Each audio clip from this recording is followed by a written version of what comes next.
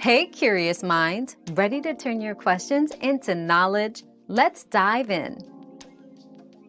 FIFA offers limited cross-platform play. Players on console may not be able to compete against those on PC in all game modes.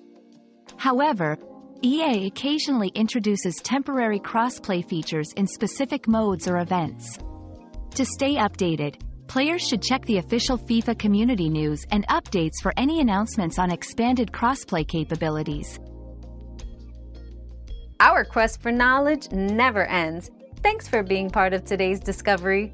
Subscribe, like, and share to join us on the next one.